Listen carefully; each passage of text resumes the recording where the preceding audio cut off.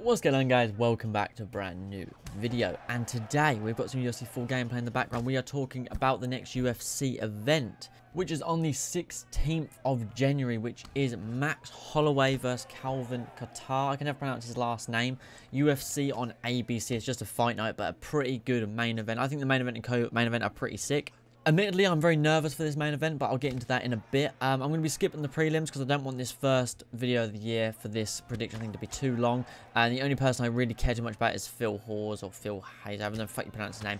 And to be honest, he'll probably lose. I just have a feeling about it, so I'm not going to bother with that. I'm going to skip the first card, first fight on the main card, which is uh, Punahele Soriano versus Dusko Tararakiv. They're 7-0 and 10 I had to write their names down because there is no way I am remembering their names. So the first fight, we have Joaquin Buckley. I hope I'm pronouncing his first name right. I, I butcher names. That's one thing I'm going to tell you guys right now, and probably every prediction video, I butcher names like mad. Versus Alessio Di Corico. I have to write down the names or I will forget.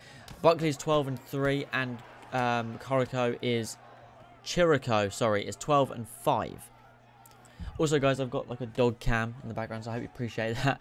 Uh, Buckley is just coming off two KO wins after a loss to Kevin Holland uh, and KO of the year with that spinning back kick that was just insane.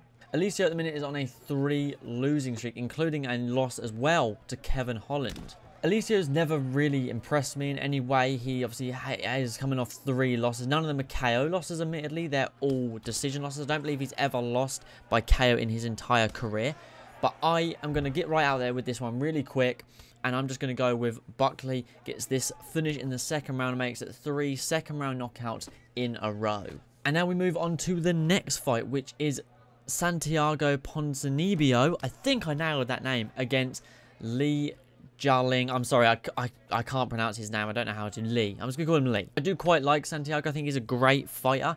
Unfortunately, he's been pretty inactive. I don't think he's fought since uh, yeah, November 2018. But other than that, he's on a seven win streak since 2015. So in those th that three year span from 2015 to 2018, he has won seven times. He hasn't fought since November 2018. So if ring rust is a thing, you know, it's going to affect him badly. Lee is just coming off a decision loss to Neil Magny. I think Neil Magny is actually doing quite well at the minute, personally.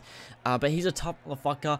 Uh, I don't think that Lee is top tier, personally. But if ring rust is a thing, then I could see Santiago generally struggling. But I'm going to say for this one, I'm going to jump right out with my decision that Santiago wins on points after a slow round one to win this fight 29-28 across the board. And uh, puts himself up for the eighth win in a row and hopefully stays healthy, stays fit and carries on his winning ways. So we've smashed through the first two, the first three technically, uh, on the event and we're going to go on to the co-main event. I've got a lot to say about both the co-main event and the main event. Obviously, I do take notes so I don't forget everything. So if you guys see me look down, that is why, because I'm taking notes. We've got Carlos Condit, 31 and 13 against Matt Brown, 24 and 17. Both men have fought tough dudes. Carlos has had some wars and he should have won the title in my opinion. I believe he beat Robbie Lawler. You guys let me on your thoughts on that, but it is what it is. Oh well, I can't go back and change. I can't be a judge. Carlos Condit did recently lose five fights in a row until October where he beat Court McGee on point. So I think maybe that will boost his confidence. I think going into that, that fight he was quite low in confidence. I think had he still been on a losing streak and not fought Court McGee, I think he would have been cut from the UFC. Because he's on a one win streak, they want to see what he can do. In my opinion, this is both men's last chance to get to the top. I don't think either are good enough now. I think both of them have been in too many great wars, too many great fights. Carlos Condit has gone five rounds with GSP and Robbie Lawler, and he's gone three rounds with Nick Diaz, Johnny Hendricks, Neil Magny. He's beat Dan Hardy, Rory MacDonald, Thiago Alves it's just he's got a hell of a resume and it's something he I think he'll look back on and be proud of. But as of right now, I do not see him winning a title. I do not see him getting to the top five in that division. I don't think he's good enough anymore. Whether his confidence has been rattled, you know, I don't look at him and go, oh, he doesn't get as many finishes as he used to. It is what it is. That happens when these fighters tend to get older. He, you know, the natural born killer is still the natural born killer. When he smells blood, he'll attack. But unfortunately, I don't think he'll ever get to the top again. I think he's just fighting at this point to stay relevant and keep the pay going. And on to Matt Brown. I don't like him. I just don't. Uh, I'm not a fan. Of his last 10, he's 4 and 6, which is pretty good. His recent win uh, against Diego Sanchez and Ben Saunders, but his last fight he was KO'd. by uh, Miguel Baeza. I don't know how to pronounce his name either, but he was recently, he's coming off a KO loss, and he obviously has come off two KO losses before as well, um, before these, before those wins. So I think his chin is getting weaker as times go. Uh, Brown has fought tough dudes as well, man. He's fought Cowboy, he's fought Lawler, he's fought Hendricks, he's fought Wonderboy, and he beat Wonderboy. But the other three, he lost to. Um, but in my opinion, I think Carlos Condit wins this one by KO to make a big statement in the third round, and they give him some top welterweight contender and uh, and then he gets uh, his head kicked in again. But for this fight, I say Carlos Condit wins this one in the third round by KO, and uh, Matt Brown just gets tired, gets sloppy, and Carlos Condit lands a nice counter and puts him away. And now we move on to the main event, a fight I'm very nervous about. We have Max Holloway at 21 and 6 against Calvin Kattar 22 and 4. Is it Kattar? Is it Kattar? Am I overdoing it?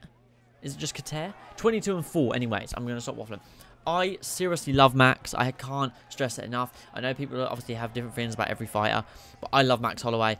Um, I personally think he won both of the Volkanovski fights. I am slightly biased. He definitely won the second one, but I do believe he won the first one as well, which I know most people will disagree with me. But I think he definitely won the second one. I think even if you're not a Max fan, you can agree that he won that second fight personally anyways. Before the Volkanovski fights, he had just beaten Edgar, and before that he had lost to Dustin Poirier in the featherweight division, in the lightweight division, sorry. So I suppose it does count as a record, but it was not a big deal because he went up to challenge, and it's, you know, it's not his weight class that he runs at the moment. Um, but before that, he hadn't lost since 2013 against the notorious one, Conor McGregor. Uh, so he was on a hell of a streak, as we all know. You know, Max looked unbeatable at one point, and Volk just come out and just beat him, and I was disappointed by that, and I think Max still won. Personally, I think Max's pressure is going to be too much for Calvin. If he pressures and throws as much as he did against, say, Brian Ortega, not maybe he'll land as much, because I think Calvin will move his head, and he's a great boxer. He's a he's a fantastic boxer, actually. Um, and that's where the worry comes in. Calvin hits bloody hard, man, from his shots. And I, I, it doesn't look like it's speed or precision. It's just pure strength. He looks like you owe him money when he hits you. That's what it looks like. He looks like he is angry at you and he, you owe him money. He wants to hurt you. Uh, you know, he's really aggressive striking, and I think I think it's fantastic. You know, his last eight fights in the UFC, which is all of his fights in the UFC, he's had eight. He's six and two, losing to um, Renato Carneiro and Zabit, which is a given because Zabit is a bit of a freak of nature in that division.